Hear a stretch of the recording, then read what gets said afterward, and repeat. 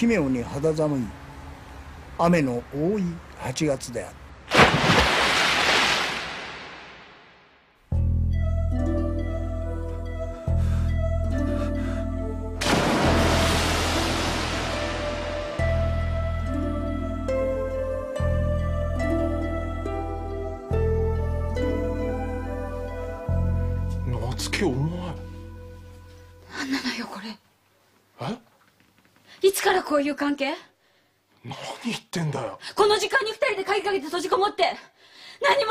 って私言わせないわよ。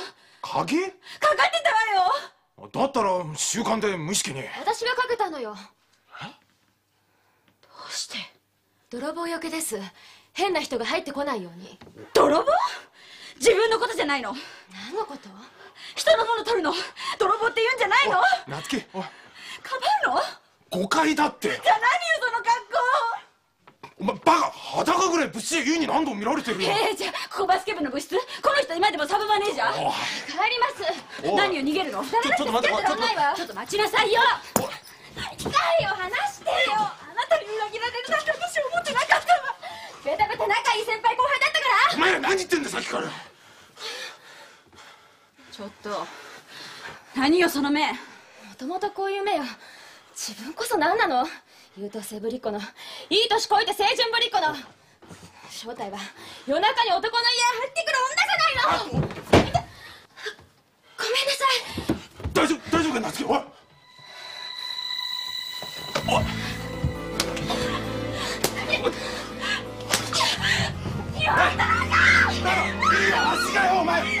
んだ。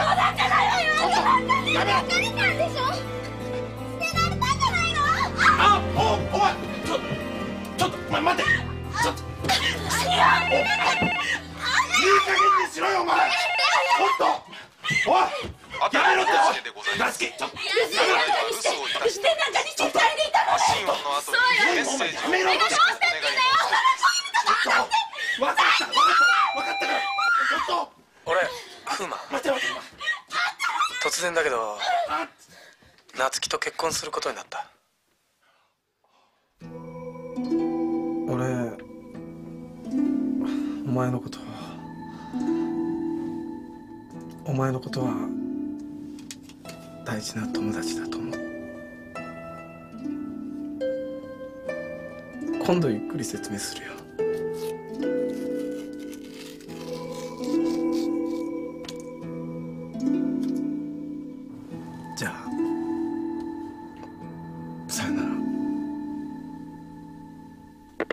夏希お前って結婚ってわけじゃないの。だってまだあ私の気持ちは。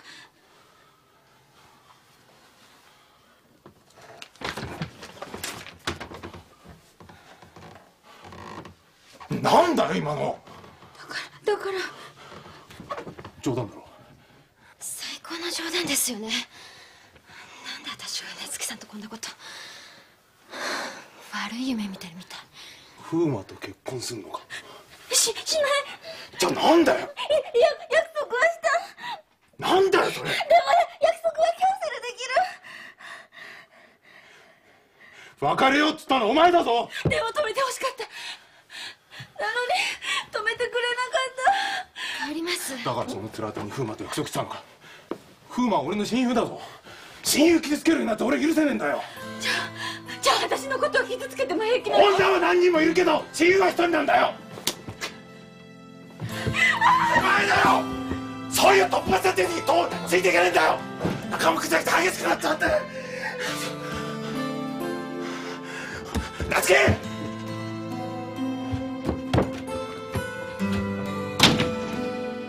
夏希夏希夏希私より風磨の方が大切なんでしょ比べられるわけねえだろ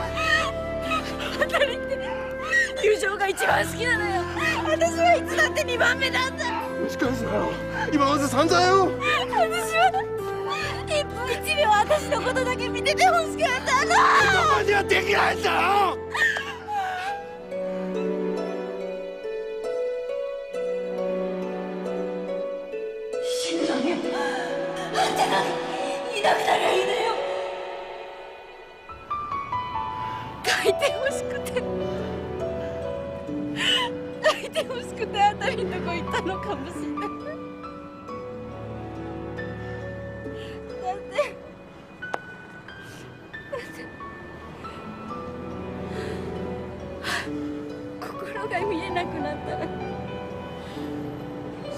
られるの体の熱さ。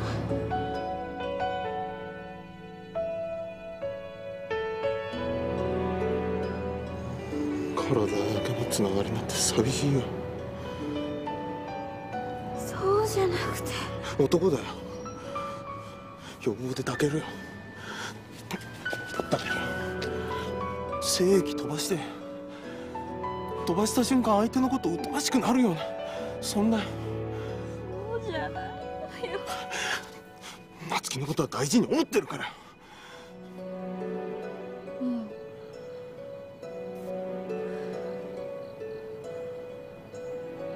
もう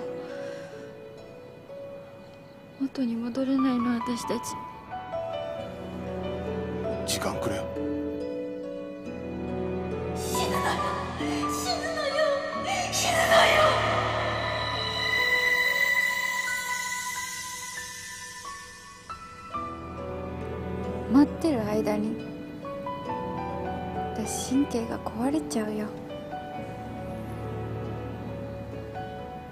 だから風磨に救いを求めたのか。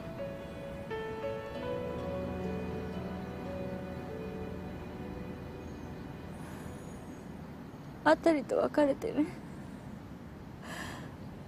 苦しくて。溺れそうで。振り回してた手が風磨に当たったの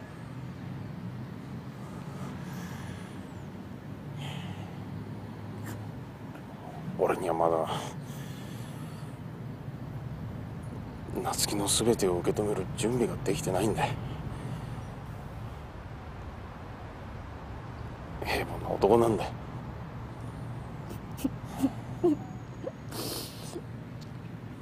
ゆい子ちゃんみたいな健康な女の子と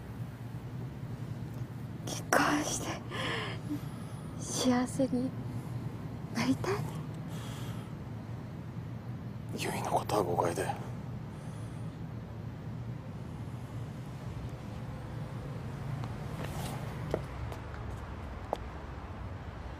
一人にしてでないと私また嫌なこと口走る。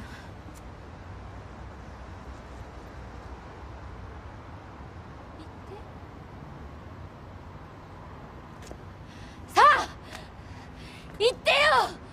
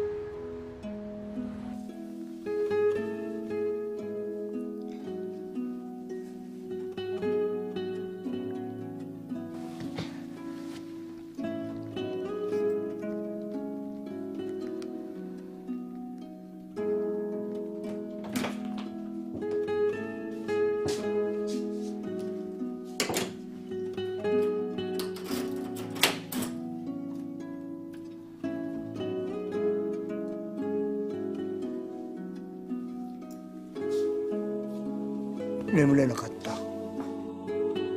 久々の東京と久々の教え子たちと街は夜通しざわめいていてそして彼らには有り余る時間がある。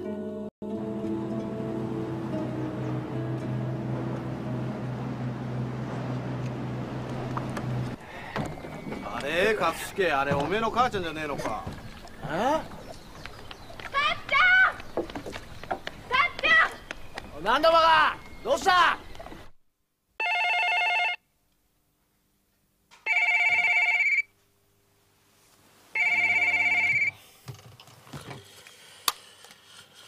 はい。おいあたりか。勝ちだおおどうした？奥さんが？先生さおめえんとこ泊まってんじゃねえかと思ってさ。いやけどゆべヒゲたちと一緒だったから連絡先はで朝帰りだったのかい？いや朝帰りってほどじゃ。うんせっかく先生上京してらしたのに。ほらほら一番なるでしょこんなとこ。ほらバッジどうしたの？え？会社のバッジついてないじゃない。いただきます。いただきます。もしもし安藤でございます。ああたりさんまだいますよ。ちょっと待って。風磨恋人からよ。よせよ。だっていつもベタベタベタベタしてんじゃない。ほら。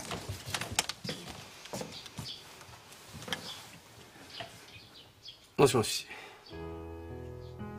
え？翔子！あんたゆうべはどこを突き歩いてたんだよ。瀬原先生の奥さん。倒れたんだ。え水が浸透するまでここを押しといてください。はい。あちょっとすみません。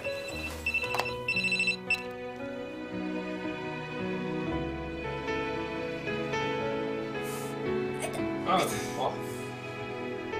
ぐしてね。時期楽になった。らこれね。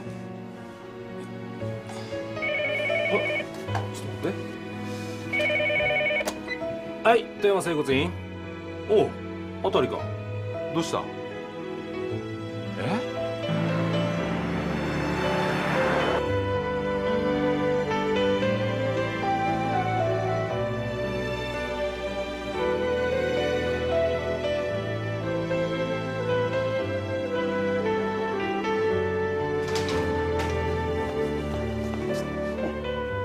先生。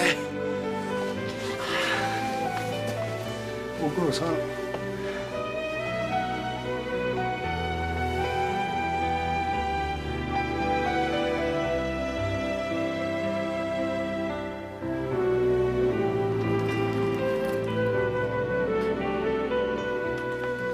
夏希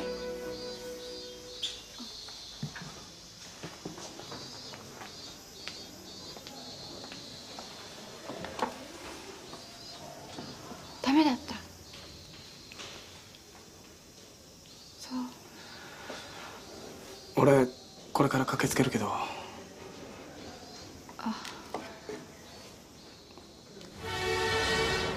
こ行くのよ。ねえ。どこ行くのよ。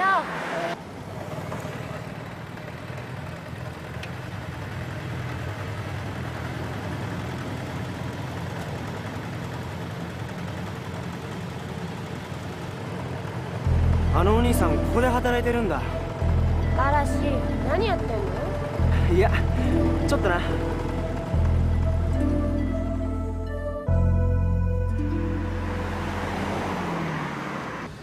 重原先生の奥さんには何度もご飯食べさせてもらった。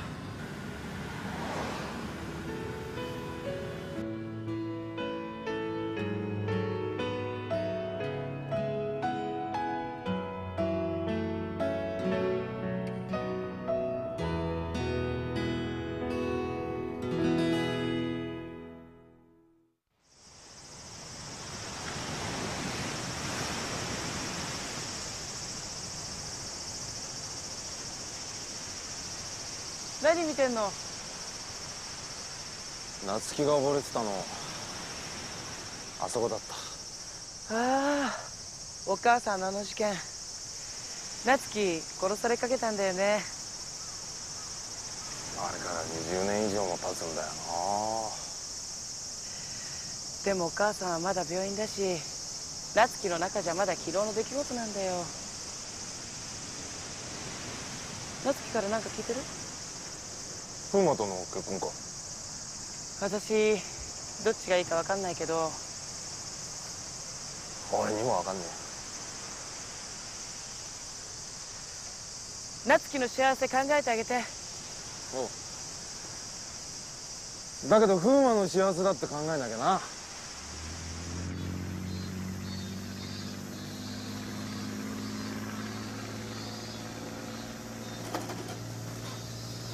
父ちゃんは？ああわさび田の草取りを手伝いに行ってる。寮には出てないの？組合から締め出し食らったまんまだよ。えー、まだ？お前のことを出しに町のお偉いさんのところに金出せと押しかけちゃってさ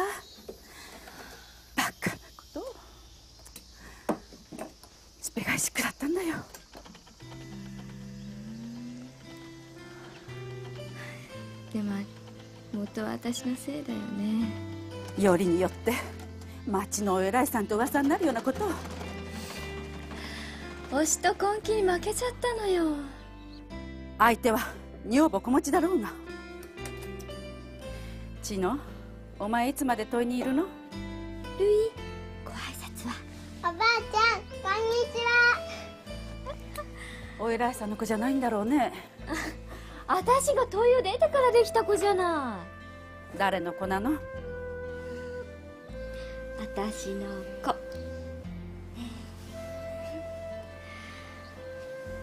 ルイのこと見てもくれないの？見りゃ情が湧くだろ。う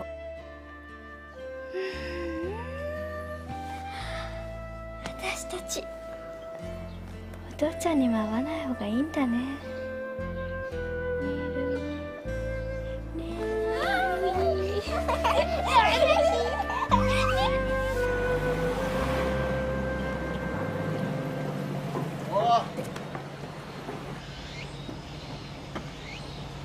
あたりたちも今来たとこだ。先生どう？大丈夫？なんだお前ら一緒に来たのか？ああ。珍しいカップルだな。あ車あっちだからさ。あ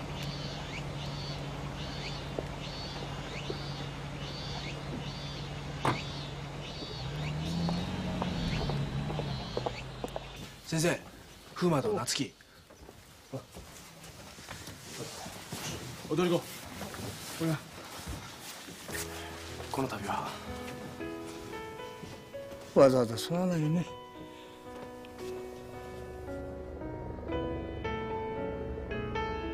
おい座布団今っと持ってこいよ。今年家内は還暦で鳥年の年女だったからね。そんなにお若かったんですか。19で嫁にもらったからね。じゃあ9つ下なんですか？先生ラッキーじゃん。何昭和26年って言ったら。男は戦争で死んじゃって女が有り余ってる頃だよ。恋愛結婚。見合いだよ。連れ添って46年目だった。ごめんください。あはいここでも騒いだよな。ほら先生の奥さん夜中までいつもニコニコ付き合ってくれましたね。ほらあのいつかの大晦日。ああ言うなよ。親元離れておばあちゃんとこ預けられてる子だからって風磨のことは家内も気にかけてたからな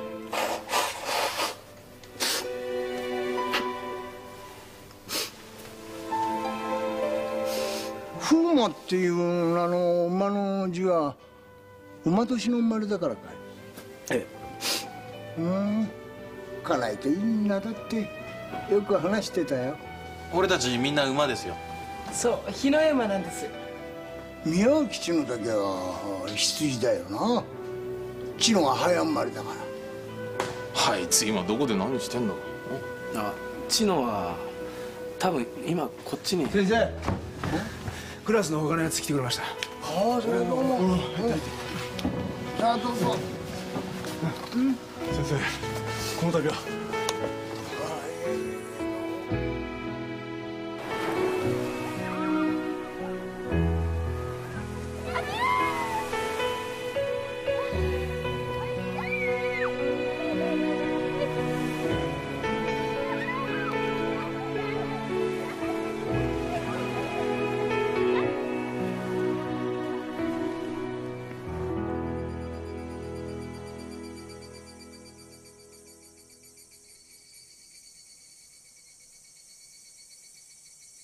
家内の丹精込めた木や花が青々と息づいている。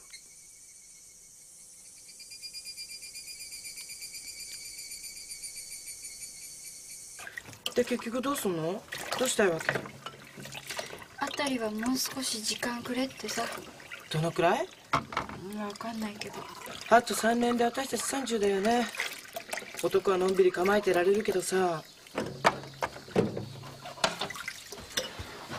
手伝おうか。先生どうしてる？うん夜は勝重夫婦がご飯や何や面倒見てくれるし高政とヒゲが残ってくれる。あそう。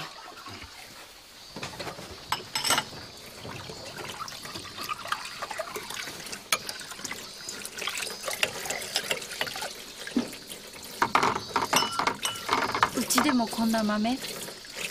おばあちゃんと二人っきりで手伝いながら暮らしてたしあそっか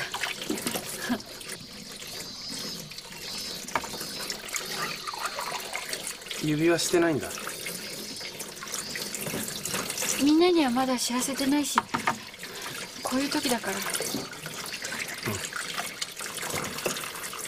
今夜どこ泊まる？うんまだ決めてない。親戚は敷居が高いしふむのおばあちゃんちももうないんだよね。一緒に泊まろうか。ホテル取るから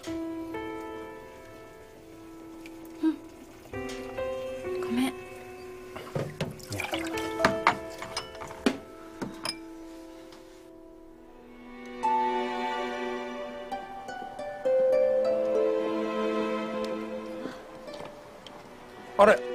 今朝ほどは。どうして？重原先生担任じゃなかったけど1年の時古文を教わったんですよ。それでわざわざ？はい。ああたり先輩来てます？いるよ。夏木さんは？うん中にいるよ。そうか。泊まるとこ決まってないんだったら俺んとこ来ないかいい機会っつっちゃなんだけどさゆっくり話がしたいんだよ。どうする？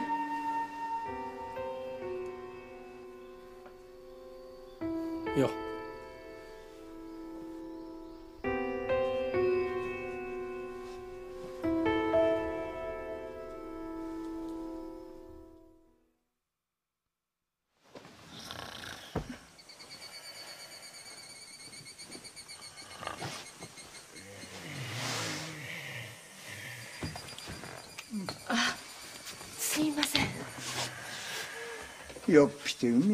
ったんだ。くたびれてるんですよ。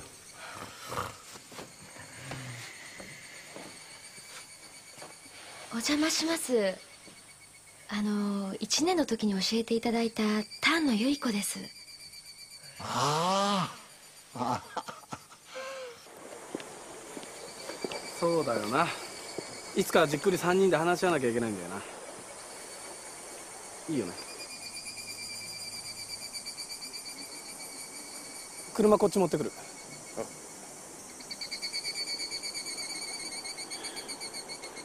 しかしゆいも律儀だよな。わざわざ。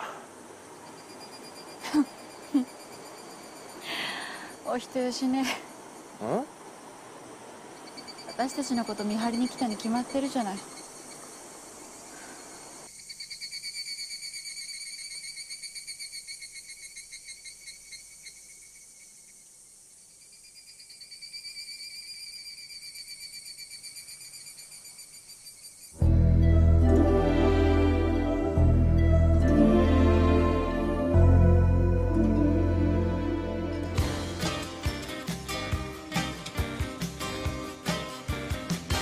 今週2つもドラマ取り損なっちゃってさ誰にも言えないと渡る世間は鬼ばかり。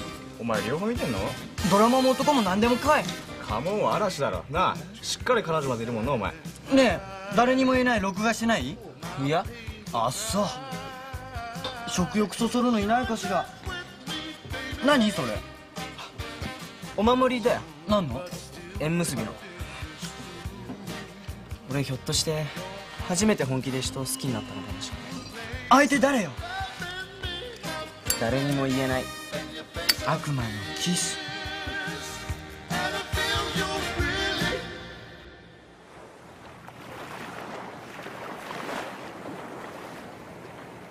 風の具合で潮騒がかすかに聞こえることがあると妻は言い気のせいだと私は言い張った。その潮騒が今夜は聞こえてくる。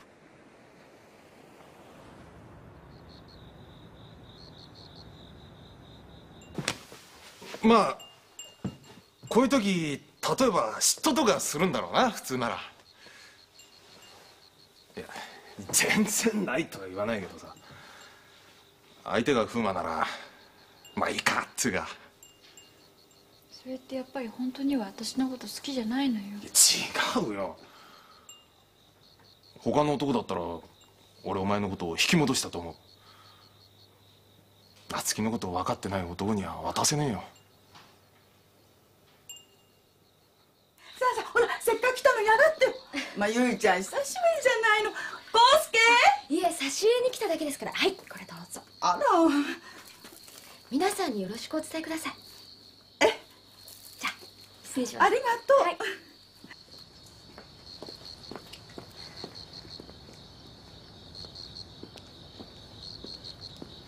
おい風磨お前ひょっとして人好きになったのって初めてじゃねえのか？え？あの女に惚れたとか俺とお前の仲ならそういうの打ち明けるよ普通。それともそういうの言ったことあんのか？いや。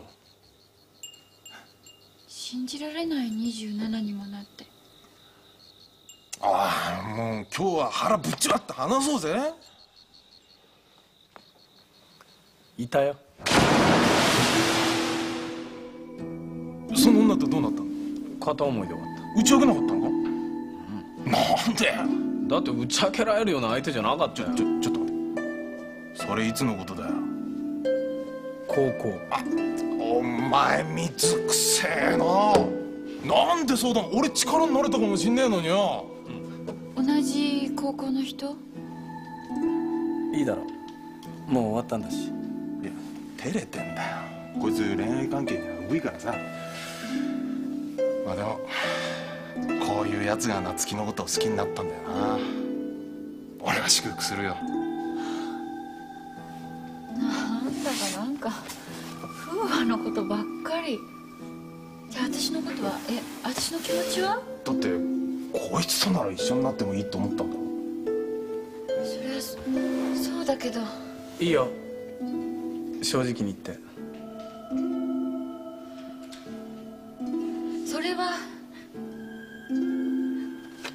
と私が元に戻れなかったらっていう条件付きなんであって。馬に失礼だろうが。いいんだよ俺は2番手で。あたりの次なら喜んで2番目でいいよ。こういうやつなんだよ。風磨が女だったら俺引っさらってでも結婚するね。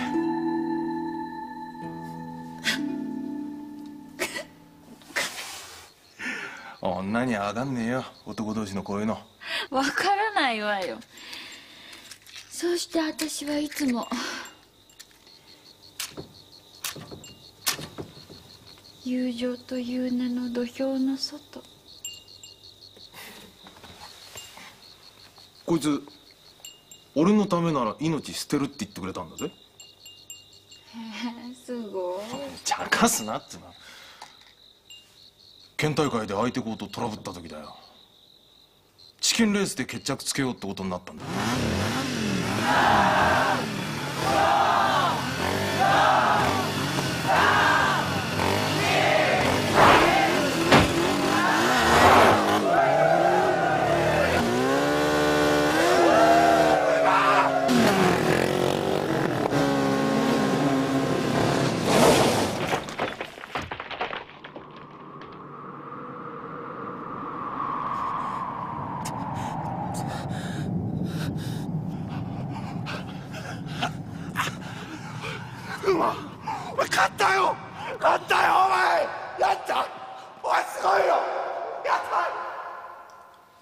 言えるか？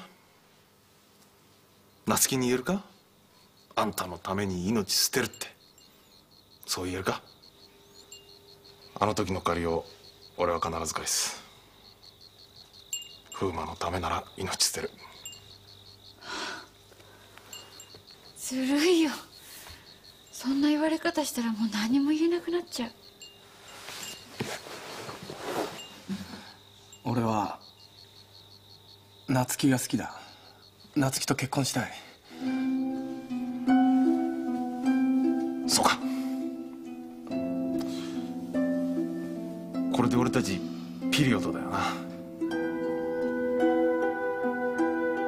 ちょっとごめんなさい。はいこれみんなでどうぞ。すみませんお世話になります。あいいえいつでもどうぞ。これねゆい子ちゃんから差し入れ。来たの？あいつ。うん。せっかくみんなでお話弾んでるだろうから遠慮しますって。ほんといい子よねあの子。うん。ご両親のしつけがいいのね。もうお風呂いいからいいから。ね。これ洗っといて。フラフラなんかしてないよ。ちゃんと働いてるでしょ？もう25だよ。東京出てった頃みんな夏希さんたちみたいに結婚が遅いんだから27にもなって。夏希さんと一緒にしないでよ。それにね私お見合いなんかする気ないからね。お父さんにもそう言っといてよ。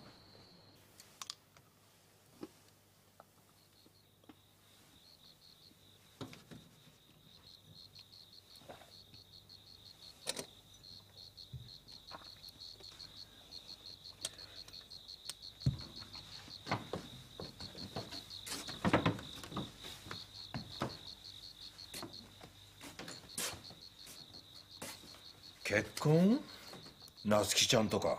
あだって康介もお嫁さんもらっておかしくはない年なんだし。しかしお前あの娘さんは？ええ。まあお母さんはあんな風だしお父さんは20年前家出たっきり行方不明だしね。それで康介は何か言ってんのか？うん別に。でも夏希ちゃんだけは正直なとこ困るわねゆい子ちゃんみたいな子なら明日にでも来てほしいのにね。あんたがいなくなりゃいいのよ。死ぬのよ。死ぬのよ。あたり。夏希とはもちろん関係っていうかあったよね。気になるのか？いや。あたりだったらいいよ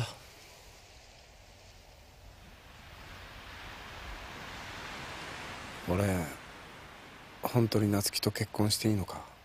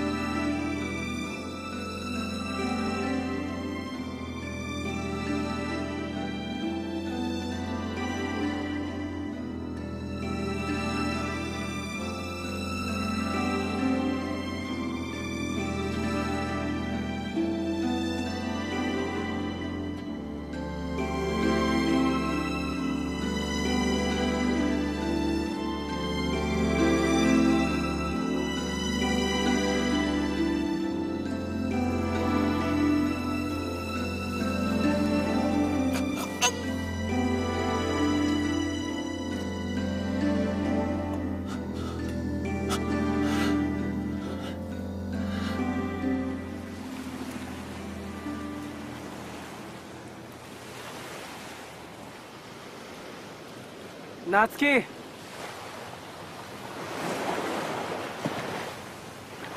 どうしたんだ？波の音聞いてたら。死にたくなっちゃよせよ。う来ないで。死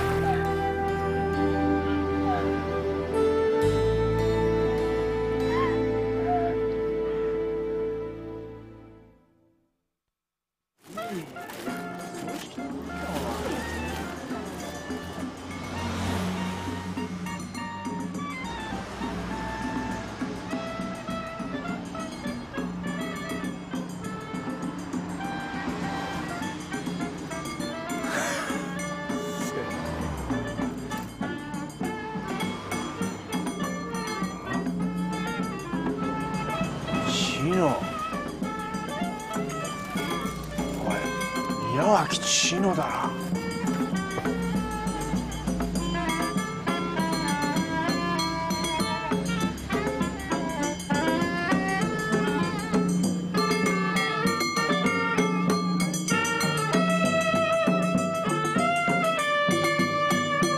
なしかしまあお前何なんだよこれ。私吹奏楽部だったじゃない。そういうことじゃなくてさ。バスケ部の応援にも借り出されたじゃない。だからそういうこと言ってんじゃなくてさ。だって親子二人で食べてかなきゃなんないし。まだ血液補充の臨時雇いなんだけどね。ティッシュはね言ってお前結婚してんだろうよおい。あ？ね最初返す頼んでもいいかな？おおすいません最初返す二つ。合図送るよ。おい誰の子なんだよ。私のいくつなんだ？りーちゃんいくつなの？やつ四つか。かわいいな。本当にな。そうか四つか。四つか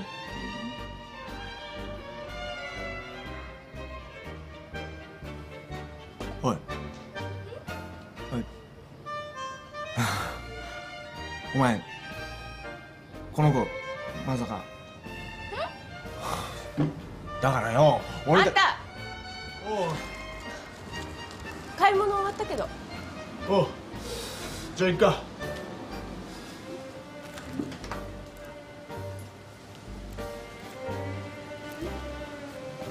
ああのさ重原先生の奥さん亡くなったぞ今日葬式なんだよ。あたりや夏希たちももうみんな来てるからさ。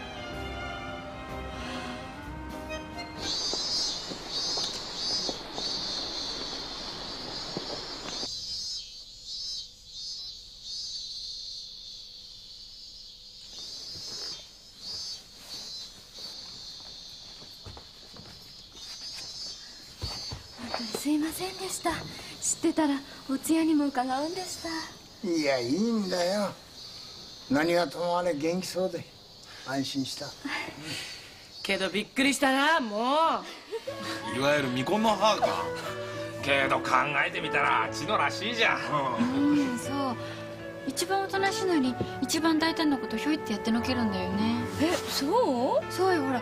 あの文化祭の時ファイヤーストームの時にさ男子たちと一緒に洋服のまま海飛び込んだじゃない。女チノ一人だけだったよな。そんなことがあったな。でもね翌日熱出して学校休んだんですよ。えそうだった？忘れたの？宿題見せてもらおうと思って当てにしてたのにがっかり。それ夏希じゃない？私勉強できなかったよ。秀原先生の古文だよ宿題。ちの国語が良かったじゃん。いやそれに字はクラス一綺麗だったよ。そう。国語はチノ数学はクーマトータルで夏希俺たちはん？まだお前俺たちはな音外な。みんな共通な思い出があって。いや3年間同じクラスだったんだもんそりゃあるよ。なあ。焼き場の帰りあたりが言い出してかつての学び屋を訪れた思い出すな。あたりやあんたや風磨や。同じことやってたよね。18だったからな。おいだよ。信じらんねえよな。あっという間に9年だよ。私にはみんなあの頃と同じに見えるよ。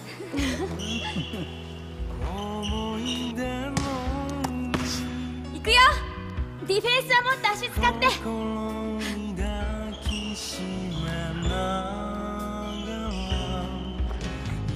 あれ？あたりたちは？そうだ。この席だった。机も椅子も新しくなっちゃってるけどな。それはあたりでしょ。よーく重原先生にチョーク投げられてたよな月日は白台の価格にしていこうとしもまた旅人なり白台は白菜と呼んでもよろしい船の上に生涯を浮かべ今の口捉えてお湯を浮かぶ者は日々旅にして旅を過ぎた年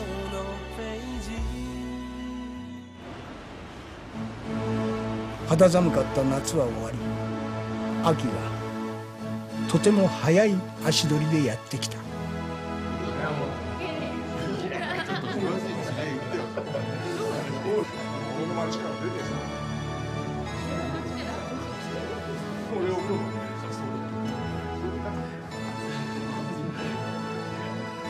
それでは皆さんどうぞこちらをご覧くださいませ。お取りいたします。はいキムチ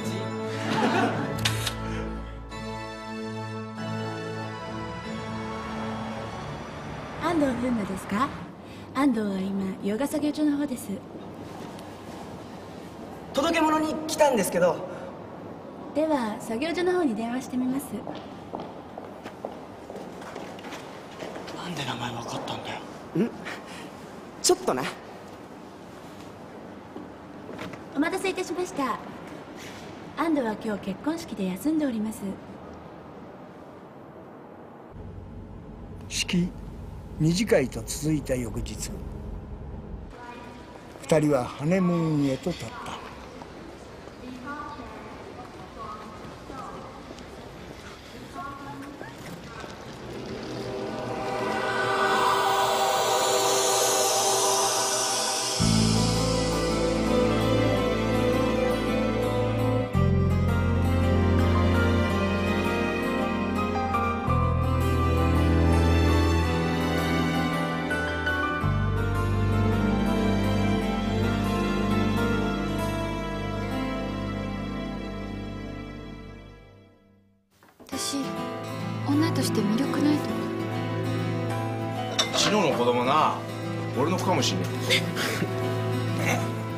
してやろうか